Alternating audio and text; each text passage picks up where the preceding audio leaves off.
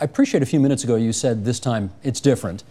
Uh, but is there any historical precedent for what we in the West are kind of going through collectively right now? Yes, it's what we did to the rest of the world. It's just we don't think about it that way. now, of course, we did it more slowly, but in, in 1800, uh, the West was rising. There were already these huge empires, but the difference between the, the level, the standard of living of the Western countries, Europe and North America, and most of the rest of the world was relatively small. Maybe the difference in true GDP per head between uh, the richest parts of Western Europe and China was two to one, not more. Then, over the next 150 years, this grew to about 30 to 1.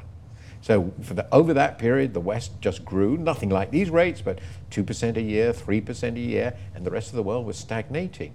This gave the West an utterly dominant power position. So by 1900, nothing that happened outside Europe or uh, um, North America and Japan then rising nothing mattered. China became an object of history. It didn't become a subject. It had deceased to be a great power. Of course, other countries, India had fallen into the uh, under the British Empire in the 18th century. So essentially, total domination of the world by the West was was gained as a result of the Industrial Revolution. Reached its peak in the middle of the 20th century. We're reversing that.